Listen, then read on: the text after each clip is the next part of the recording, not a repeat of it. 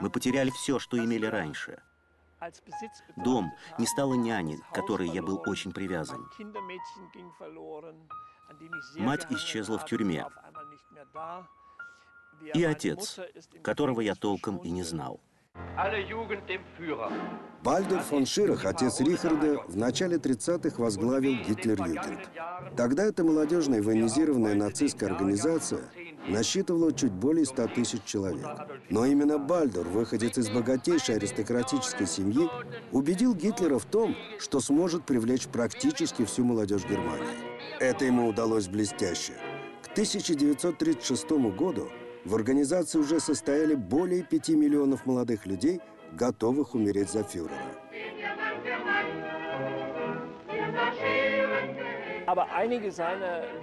Некоторые из песен отца стали весьма популярными, особенно гимн «Гитлер-Югент», про знамя, которое веет впереди. Но я никогда не учил его стихов, во многом я дистанцировался от них.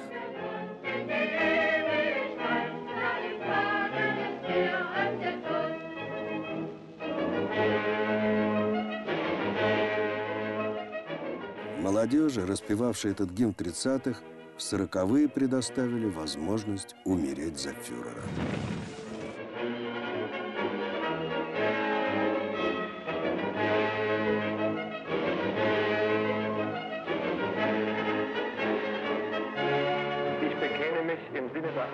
Я не признаю себя виновным. Когда моего отца приговорили в Нюрнберге в 46 году, мне, как я уже говорил, было всего три года.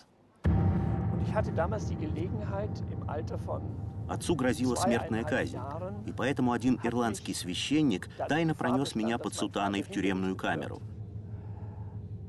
И вот тогда-то я впервые увидел своего отца, он посадил меня на колени. Разумеется, я тогда совершенно не понимал, в каком положении он находился. Меня очень занимало, почему у него не было шнурков. Я не знал, почему он находился в этой камере. Я видел лишь, что это добрый человек, мой папа.